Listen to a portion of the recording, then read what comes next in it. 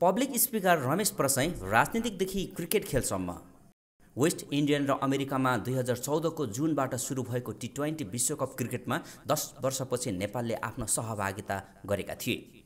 यसै क्रममा राष्ट्रिय स्वतन्त्र पार्टीका केन्द्रीय सदस्य एवं सहप्रवक्ता रमेश प्रसाईले पनि हाल अमेरिकामा रहेका नेपाली खेलकुद र गीत सङ्गीतको क्षेत्रमा साधना गर्दै आउनुभएको सर्जक अग्नि पराजुलीको रचना तथा सङ्गीतमा रहेको हिप हिप हुर्रे बोलको क्रिकेट गीत गाएर खेलाडीहरूको हौसला बढाउने प्रयास गरेका छन्।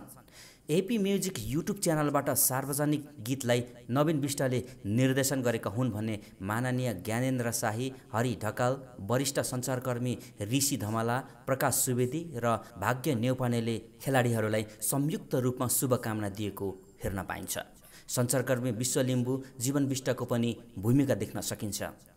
सार्वजनिक गीतका गायक रमेश प्रसाई अन्य खेलहरूमा भन्दा ज्यादा नेपाली क्रिकेट र क्रिकेट खेलाडीहरूमा आफ्नो विशेष लगाव रहेको बताउँछन्।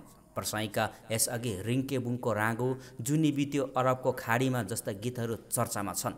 यसै गरी रमेश प्रसाईले इन्द्रणी कार्यक्रम मार्फत नेपाली लोकदोहोरीमा आफ्नो पकड जमाउँदै आएका छन्। यस गीतका रचना तथा सङ्गीतकार अग्नि पराजुली हाल अध्ययनका लागि अमेरिकामा बस्दै आएका छन्। पराजुली आफै पनि गायक हुन्।